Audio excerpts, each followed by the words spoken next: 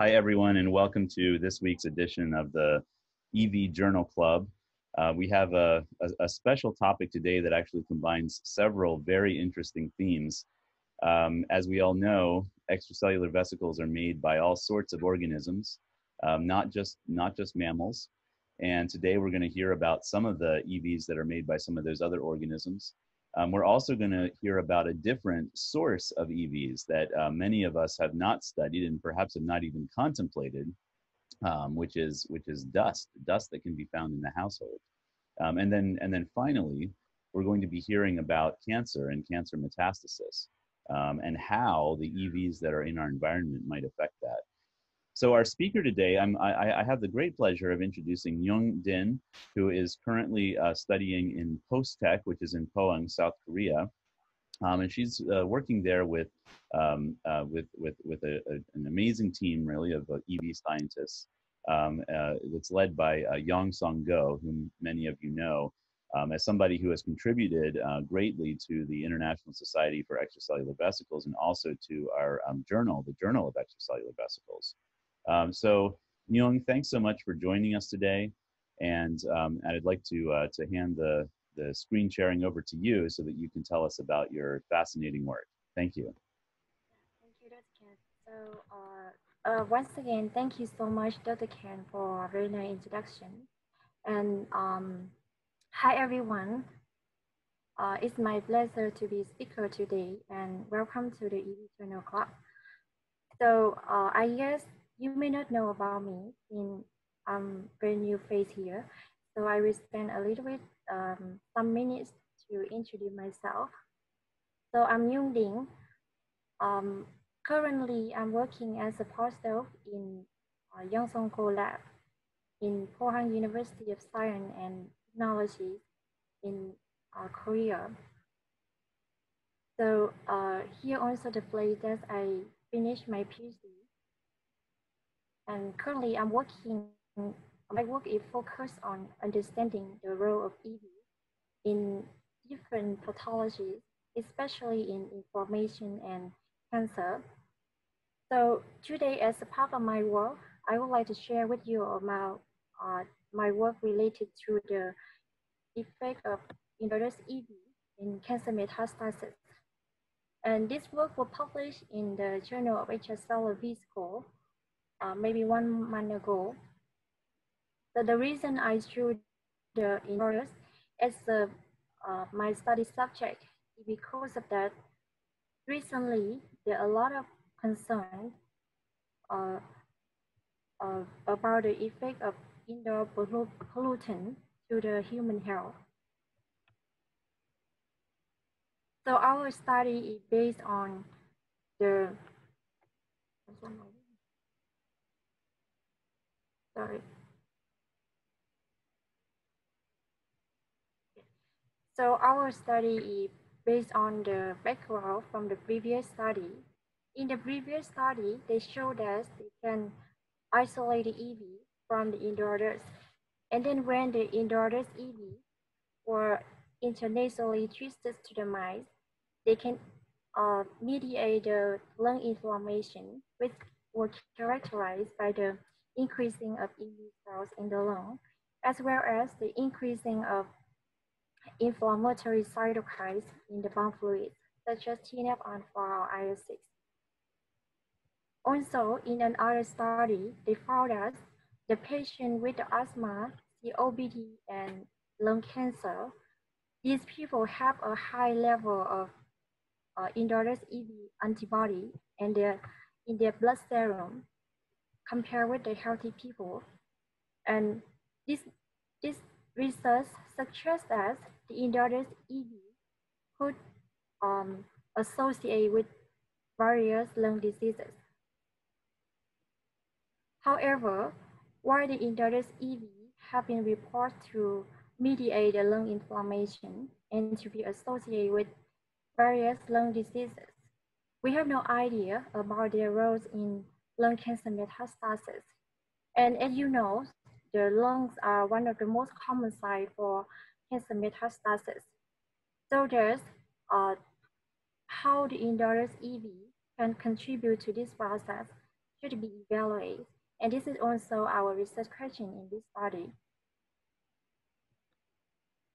So to access the I first collect the indolors and then solubilize in the PBS. And after that, the insoluble matter in the indolors were removed by filtration and centrifugation. And finally, indolors EV were purified using the combination of ultracentrifugation and buoyant density gradient ultracentrifugation. So with these methods, we could achieve around 22.4 microgram of indolors EV per one gram of indolors. And under the same image, the indolors EV was shown with the spherical and membrane enclosed structure. With the DLS analysis, we find that the indolors EV have the average size around 129.6 nanometer in diameter. For further characterization, I could find the version of lipid A and LTA in the indolors EV.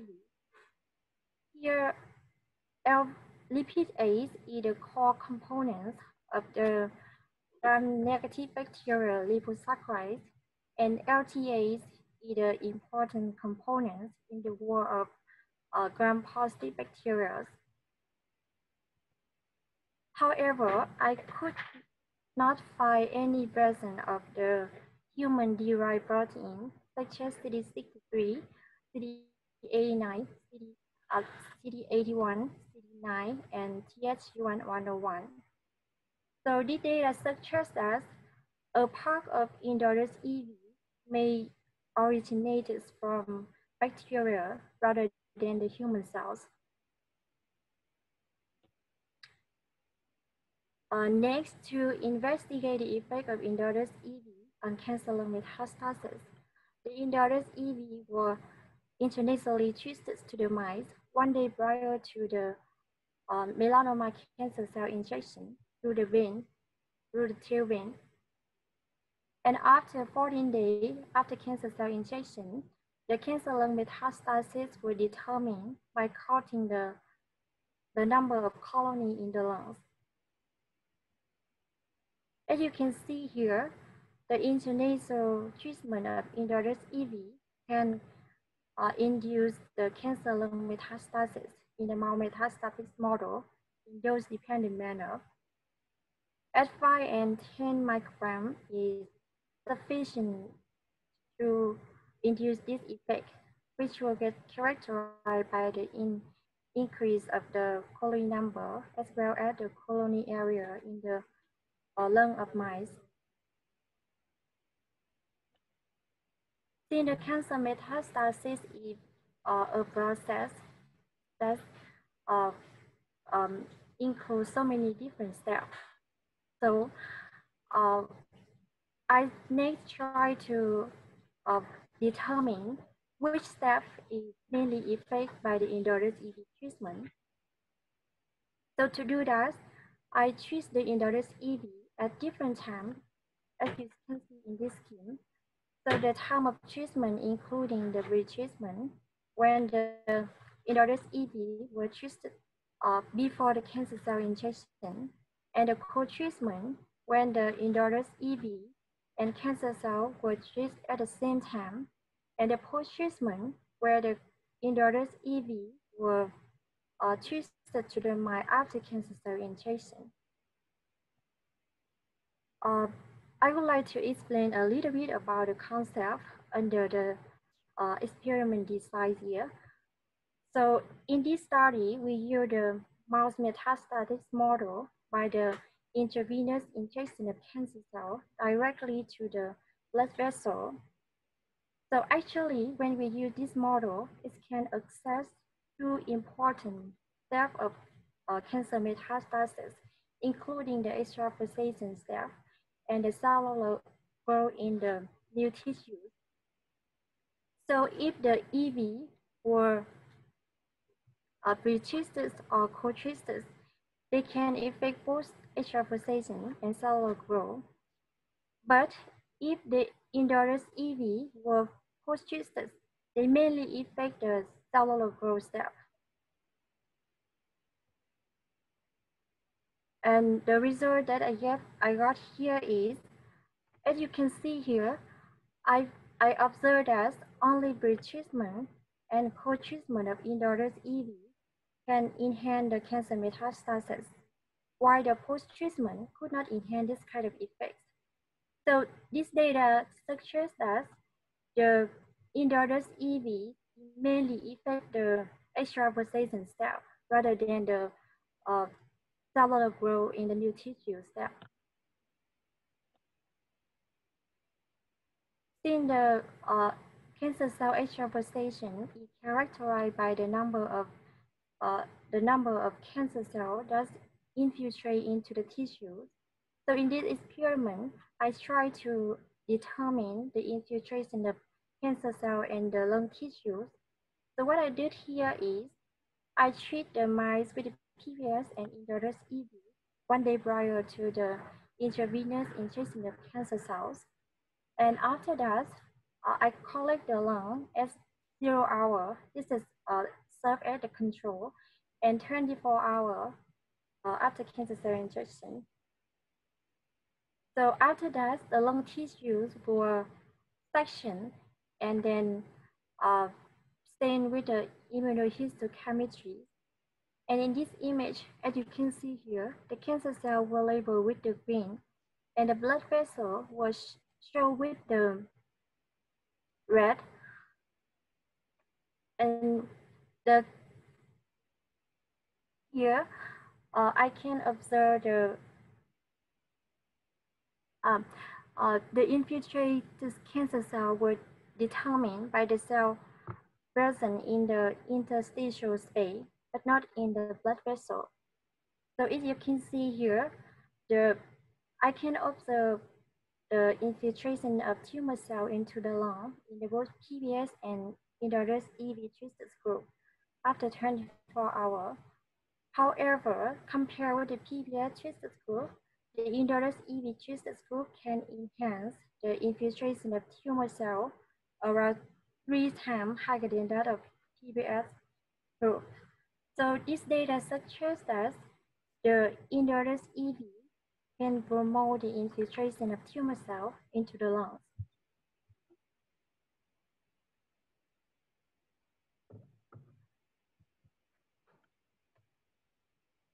Using the um, migration assays in vitro, I found that the endogenous EV could not directly induce the mi migration of cancer cells, as you can so I thought that maybe endogenous EV can uh, push the indirect effects on the tumor cell migration. So in this experiment, I prepared the lung lysis from the PPS treated uh, mice and endogenous EV treated mice. And then I treat to the cancer cell in the migration assays instead of the endogenous EV themselves. So uh, even I can observe the uh, I can observe that the lung lysis from both PBS and endogenous EV treated group could enhance the tumor cell migration in dose dependent. However, the lung lysis from endogenous EV treated group can uh, more efficiently promote the tumor cell migration. So that means that the endogenous EV can promotes the tumor cell migration in, indirectly.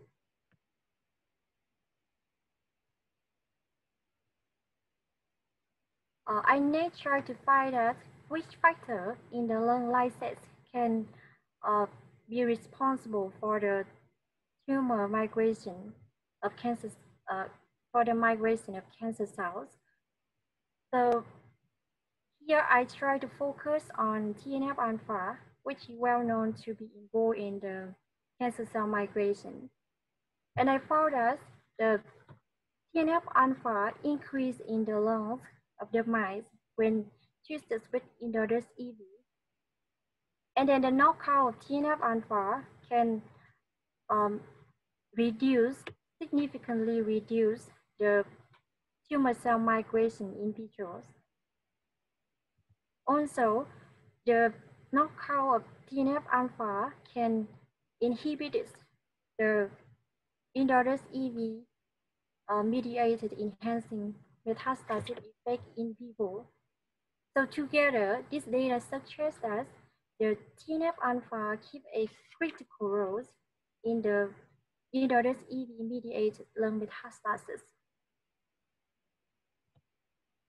So at the beginning of, in the very beginning slide, I show my, uh, our research question is how endogenous EV affect lung cancer metastasis? And the answer for this question is the intranasal treatment of endogenous EV to the mice will induce the production of TNF alpha in the lung. And after that, the TNF alpha enhance the migration of cancer cell into the tissue, and it's caused the enhancing metastatic effect in the lungs. Uh, since the endogenous EVs are very complex mixture that originated from different sources. And for me, the complexity is always very hard to control. So that's why I go further in my work to find out which main source that produced the endogenous EV and it is mainly responsible for the promoting lung metastasis of the endogenous EV. So many study so many studies report that the bacteria are common pathogen of the endogenous. So I try to identify the specific bacterial species which produce the endogenous EV. To do that, I performed the RT-PCR with the 16S rRNA primers, and of course using the endogenous EV uh, template. After that, uh, I take the amplified products and send to sequencing.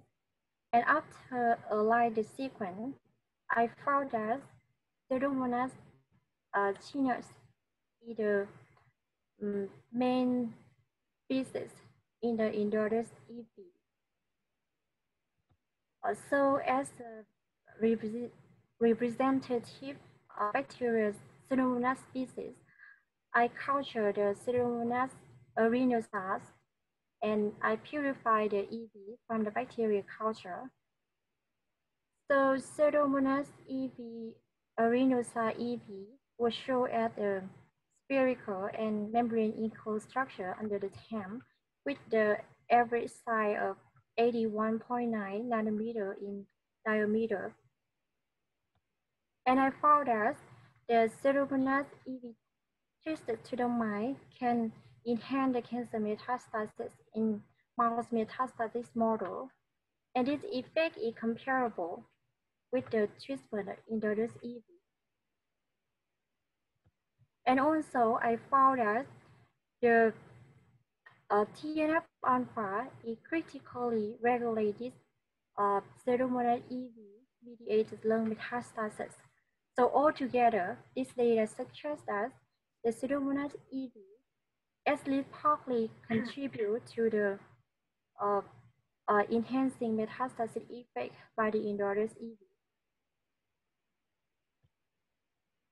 So to summarize my work, uh, we have here present for the first time that endogenous EV have the capacity to promote the cancer lung metastasis when intranasally treated to the metastatic model. And this metastatic enhancing effect is critically regulated by TNF alpha. And finally, we demonstrated that Pseudomonas aeruginosa EV at least partly contribute to the effect of endogenous EV in promoting cancer metastasis. So thank you so much for your uh, listening. I would like to uh, receive your quest the question from all of you. All right, well, Young, thanks so much for that very clear presentation. Um, I think that uh, your work gives us a lot of things to think about.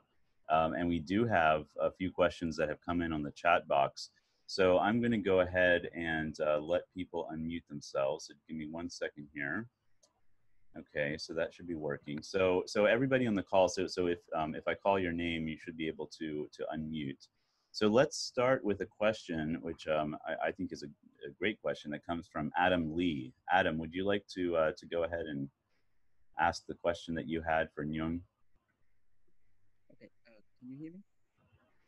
Uh, just barely.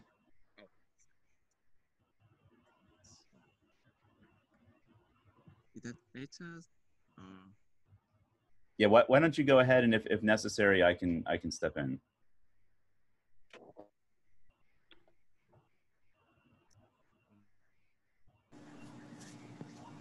Hello. Um, oh, that's great. That's great. That's working well. Is this question okay. from Adam Lee, right? Uh, yeah. So um, I just have uh, a simple question because the um, because the extracellular vesicle and the virus have the yeah. similar size. So um, it is possible that uh, the uh, viral contamination happen with your uh, indoor dust isolation. Yeah. Yeah. yeah. So for your question, actually in this study, we um we uh, didn't um concern about the contamination of virus, and you know it in the extracellular field. It's we know that all of us we know that it's very difficult to um like separate the virus from the EV. And then because of the our isolation technique have a, have a lot of limitation right now. So yeah, to be honest, in this study, we didn't um, concern about the virus, uh, viral in contamination. Yeah. Okay. Yeah. So thanks for the question, Adam. Um, because you know, I think it's it is interesting to note that viruses have been found in all sorts of places, you know, floating way up in the air, in the in the ocean. Um, you know, there's a lot of a lot of viruses in us and around us. Um, so, but but Nyung, would that not be possible to look at your at your proteomics data and see if there are any known viral proteins there? Um, yeah, I, we didn't perform the proteomics in this study, Oh, I'm sorry. So, sorry. Uh, uh, let me let me back up there. I, I, I'm I, am misspeaking um, with your sequencing data, but I guess with yeah, your yeah, sequencing data, you were looking specifically at, at rRNAs. Is that right, and not at everything? Yeah, yeah, yeah. Okay, so that so then it, it still would not be not be feasible at least with the existing data. So, yeah, and it, that's an interesting. Um, I think an interesting question to, to ponder. Um, what else might be in those samples? So so our next question comes from uh, Juan Pablo Tosar. Juan, would you like to ask a question, please? Yeah, sure. Can you hear me? So yeah, I can yes. hear you well. Thank you for, for the nice talk. And I, I think it, it's pretty clear that um, the, these uh, EVs that you're studying have, a, have an important effect on TNF alpha and on cancer metastasis. But my question is, um, what in, in, in the dust, do you, do, do, do you really have like free EVs or, or are you seeing the presence of bacteria like uh, in the dust? And when you place the, the, the house dust in buffer before EV isolation, then those bacteria will release the, their, their, their EVs. Do you have evidence for the presence of EVs in dust uh, in the absence of, of detectable bacteria? Okay, so uh, as I understand your question is, is this the bacteria present in the endodermis EV? Is it is it your question, right? Yes, yes, exactly. Okay, so to check um, if the bacteria is, con uh, is contaminated in the uh, isolated EVs, we just um, we yeah we we just do like the success. So we just um, spread uh, we just uh, place the EV and incubate in 37 degree overnight. And we didn't see any colony grow from the blade. So that means that our endodermis EV is not contaminated with the bacteria. So you don't need to worry about that bacteria will interfere the uh, observation from my study. Okay, thank you. So at least live bacteria uh, do not appear to be present here. You know, I had um, a, a, related question, and that was um, I was interested to see that you were not detecting any um, tetraspanins in that um, indoor dust, uh, which which I, I found interesting because I think that um, human epithelial cells can be a big uh, you know component of household dust. So it, it, it would suggest to me that maybe um, maybe those maybe those tetraspanins are just no longer you know in a conformation that um, that is able to be recognized. Or maybe I think that maybe in case it exists, it, it will exist. So if it's very small amount, so I think maybe it's undetectable in red blood too. Mm-hmm. Yeah, okay. Uh, so our next question is from uh, Clotilde Thierry. Clotilde, go ahead and ask your question. Yes, thanks, Ken. So nice. Uh, thanks for this nice presentation. So uh, what you show suggests that um, exposure to the indoor dust EV, probably by inducing inflammation in the lung, promotes metastasis. But could you check whether this is true in a situation that's closer to the normal development of a tumor, meaning a tumor growing locally and uh, with mice exposed maybe in a, in a more continuous manner or, or uh, yeah, more continuous manner to indoor dust? Okay, so uh, the thing you asked is about the uh, continuous exposure to indoor dust. And in case that that's a situation, as I, as I understand, when you expose continuously with something with small amount, that means that it's involved to the chronic uh, chronic effect rather than acute effect. So it's totally uh, a little bit diff, uh, different from our situation in this study. So we just use the high dose at then one time. So that means that acute effect rather than the chronic effect. Then I totally agree with you that the chronic uh, chronic effect should be investigated uh, to see um, it will affect which step of metastasis. Because as, as I know, the chronic effect and acute effect, they, they affect the cancer metastasis in different way and different mechanism. Yeah, it was both the chronic effect versus acute and the um, normal growth of a tumor in a tissue as opposed to the injection intravenously as you did. And so I wonder whether the, the, your results that are very nicely uh, done and convincing, whether they can apply to any uh, real pathological situation. Because I also think that in, in the real life, you will not be exposed to an acute uh, um, yeah. ball of, uh, of dust EV, or, yeah. or maybe you could, but I don't see when. Yeah, it's, it's reasonable to add this question and uh, we have two reasons to believe that uh, our research can apply for the clinical studies. The first one is, you know, these days the uh, indoor pollutant become very, very seriously.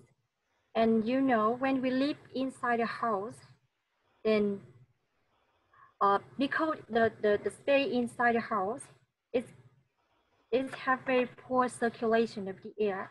So it have a lot of chance to for the indoor dust to accumulate. That means that the increased concentration of indoor dust EV in the space. And the second reason is um, actually in this study, we show that we can uh, achieve 22.4 microgram of indoor dust EV from the indoor dust.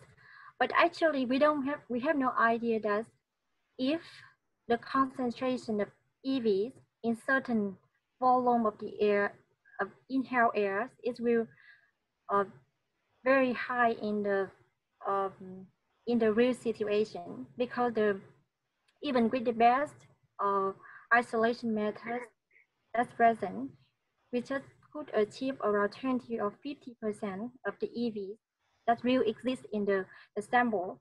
So I think uh, in some case, in the real life, the acute effect will be more important than the chronic effect. Okay, thank you. Yeah, I guess um, I, I also was wondering about some things uh, related to the exposure. So, um, so you were purifying your EVs and um, and exposing by the intranasal route, um, for example. Um, so I wonder, is there some way? I mean, this I, I, don't even know how this would work, but is there some way to uh, to have the animals exposed in a more natural way, like in an environment where you have planted a bunch of uh, dried EVs? Um, and and what would the right control be? I mean, I'm not I'm not even sure if this could be done, but um, but just wondered if you've probably thought about this a lot more than I have.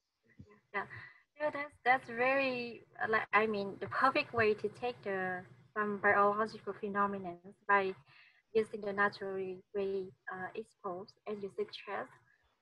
Um, but I have no idea how we can do like this and control the amount of inhale. It's very difficult if we use the, the natural expose. So maybe in the future study, if we could find some way, so it's very, it's better to take this hypothesis from you. Yeah. Okay.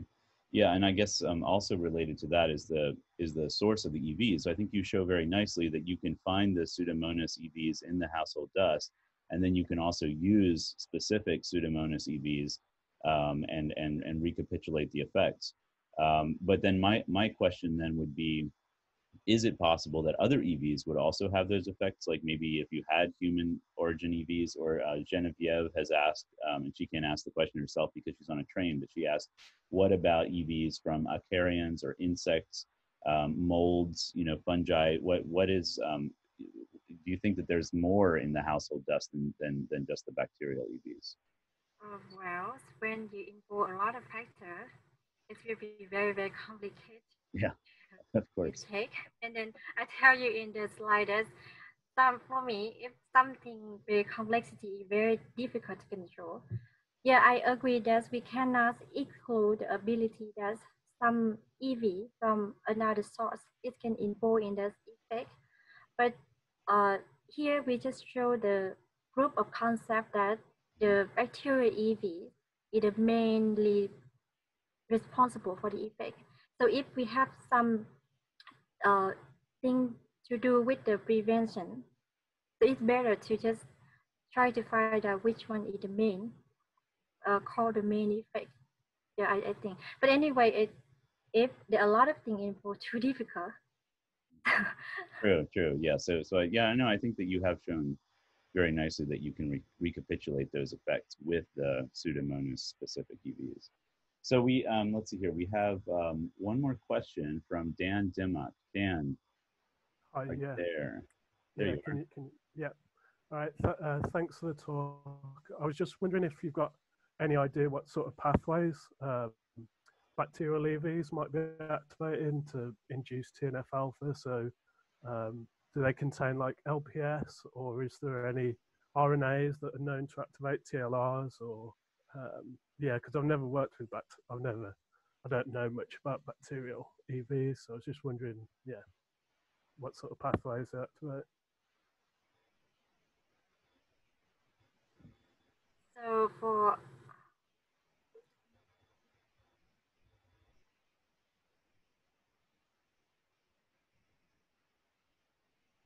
So um, your question is related to the mechanism yeah.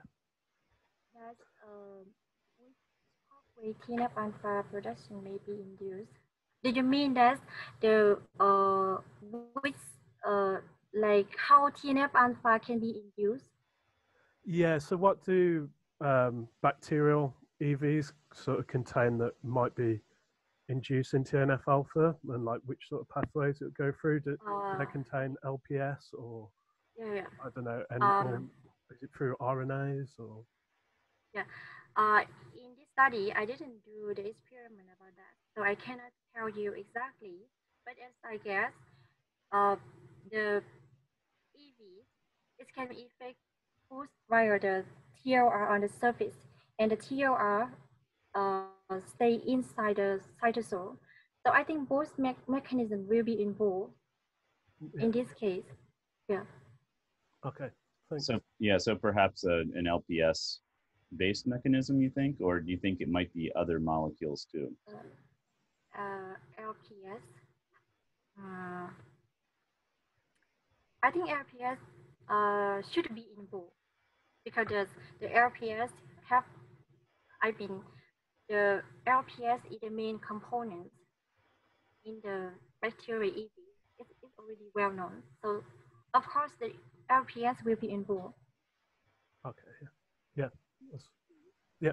Cheers. But, yeah, so likely, uh, likely some sort of a TLR based mechanism would be um, would be plausible here. Good, good, okay. Um, oh, and then we have one more question. Juan, you have another question here about about intact EVs. Yeah, it's actually uh, related to the previous question. If you treat your EVs with detergent, for example, um, will you observe the same effect? So do you really need like a, an intact TV or, or, or is actually the LPS? So is it more like the lights, the, the components themselves, but not, not, not the EV as, a, as, as, a, as an entity? What causes the effect? Uh, I think this effect, um, I think it will happen if you just break the EV using the detergent because in uh, in previous study, we have one article from another group. They showed us if they treat the LPS with the same rule, the intranasal treatment, so they can see the uh, enhancing lung metastasis effect too. So I think that it doesn't matter if you treat the EV or break EV, but the important point here is we need to compare the effect from LPS and EV to see like, I mean, compare the effect from the same amount of break EVs and the EVs and to see which one will in, induce more stronger effect. So that is the, the point. Uh, is it clear enough or I should yeah, yeah. more? No, no, yeah, yeah, thank you. Yeah. Right. Yeah. So so that would allow you to observe whether there there might be internal components that would also um, potentially contribute. Um, good. Okay. All right. Well, I think that that um, that brings us to the end of our our questions, and um, I just want to thank you, Nyung. Thanks so much for joining us again um, and stepping in. So so Nyung did this in just a couple of days because we had a speaker who had to cancel, unfortunately, this week. So I'm immensely grateful to you for doing this. Um, and thanks for thanks for sharing your work and thanks to everybody for joining us today and for all of the um, all of the interesting questions. So I hope everyone has a good rest of their week, um, and I look forward to uh, to seeing you all again soon. All right, take care, everyone. Stay healthy, stay safe. Bye now.